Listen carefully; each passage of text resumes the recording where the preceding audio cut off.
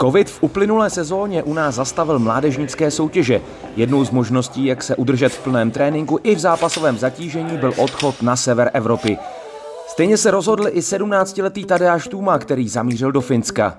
Tak my už jsme o tom uvažovali vlastně, vlastně před tím covidem, už jako jsme, vždycky jsme měli v hlavě, že prostě na nějakém určitém levelu, když budu, takže se budu chtít určitě posunout zahraničí. A pak jsem se teda rozhodl, že budu jakoby ještě v Čechách, v Boleslavi, no a když teda přišla ta druhá covidová vlna, tak vlastně se to seběhlo strašně rychle, že tam to bylo v rámci třeba třech dnů a prostě jsem se zbalil a odletěl jsem do toho Finska a tam jsem vlastně žiju sám, jako bez rodičů, takže v tomhle to bylo nový, ale tím, že jsem byl o to mít třídě v Liberci vlastně s, s klukama na hotelu, takže jako jsem se o sebe uměl postarat, takže bylo to jako nová zkušenost určitě, pomohlo mi to jakoby stát se jiným člověkem, ale zase tak úplně velký skok to nebyl, protože jsem byl třeba zvyklý na to žít jako přes týden bez rodičů.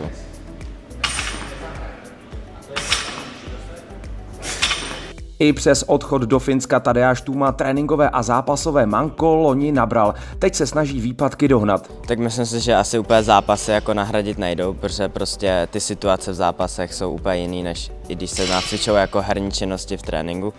Ale myslím si, že nebo já se s nám snažím prostě teď honit ledy, jako tu četnost, právě abych byl zase co nejvíc na ledě, když teda jako jsem na ledě byl hodně i v této sezóně, ale prostě myslím si, že každý to mohl využít podle sebe, takže jako určitě natrénovat na suchu a potom ty ledy jako určitě je to nějaký výpadek, ale zase si myslím, že v tom mém věku to úplně tak jako strašný nebylo. Odejít v 16 letech do neznáma a starat se o sebe v cizí zemi, to už chce pořádnou dávku odvahy. Anglicky umím relativně dobře, jakože se bez problémů domluvím i rozumím, takže tohle jsem se nebál. No, finština z toho mě bolí už, když to poslouchám, to je jako takový zvláštní jazyk pro mě. Už se teda trošku chytám jako v hokejových slovech a takhle, tak to už umím. A z krénu tak uh, byli tam určitě jako kluci ve 20, v 18, takže já jsem bydlel právě s Maličem a s Pepou Pochem, takže jakoby to nebylo úplně, že bych tam byl úplně sám, takže to bylo také docela dobrý. Ve Finsku se ale dokázal prosadit a sbírá tam zajímavé zkušenosti. Na mě asi největší dem udělalo, že tam jezdí kluci na tréninky na kole, nebo třeba, že tam i dobíhá, jako že běží prostě na trénink, jako v rámci rozcvičky. A myslím si, že největší rozdíl je v tom, že oni za mě jako netrénují víc než my, ale oni trénují ve větší intenzitě a myslím si, že prostě ta tréninková skupina je kvalitnější než tady, než, nebo než tady v Čechách, takže vlastně ten trénink je efektivnější a je tam více té konkurence a je tam takový ten zdravý, jakoby zdravá, jo, zdravá konkurence, že prostě každý tam chce být nejlepší. Takže se tam i mezi sebou jako hodně soutěží a tak. V barvách klubu Tuto Haki z Turku si Tadeáš Tuma ve Finsku zahrál jak za tým do 18 let, tak i za 20.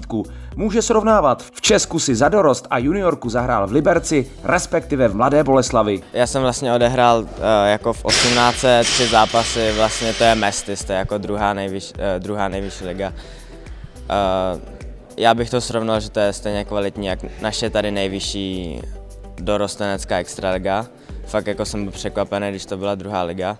My jsme vybojovali postup eh, vlastně do té nejvyšší, akorát kvůli covidu se to pak nedohrávalo. A já jsem potom eh, byl jako posunutý do dvacítky a dvacítka hraje tu jejich nejvyšší soutěž U20 a to když jsem jako ty zápasy, tak my jsme hráli proti TPS Turku a i proti Hemenlině a třeba to TPS Turku jako je jeden fakt z top týmů a to teda byl jako slušný fičák. Ta soutěž je hodně rychlá, hodně taková jako nabruslená a fakt tam není v tom týmu nikdo, kdo by neuměl bruslit. A i když třeba nebruslí tak technicky, tak na, stejně je na tom hrozně rychle. Přístupem v tréninku i výkony v zápasech si Tadeáš Tuma řekl o novou smlouvu a v příští sezóně může v tuto haky nakouknout i do A týmu. Tak já jsem tam podepsal novou smlouvu, takže teď je to jako smlouva s dvacítkou i s Ačkem, taková jako napůl, takže v tuhle chvíli jsem tam a uvidíme, co jako přinese. No. V tuhle sezónu mi řekli, že budu začínat ve 20 a když budu hrát jako by dobře, takže určitě je možnost si do Ačka se podívat. Další velkou výzvou pro Tadeáše Tumu je reprezentace. V polovině prázdnin na českou osmnáctku čeká prestižní hlinka Grecky Cup. Samozřejmě to potěší, když jste jako v reprezentaci, protože se s těma klukama i že ho známe všichni, takže je tam super parta.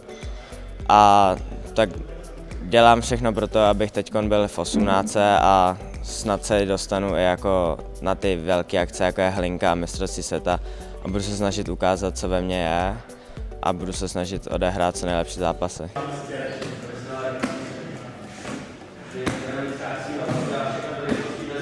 Na známém turnaji by mohl být skvěle připravený, denně maká na suchu i na ledě. Ví, že je stále na čem pracovat.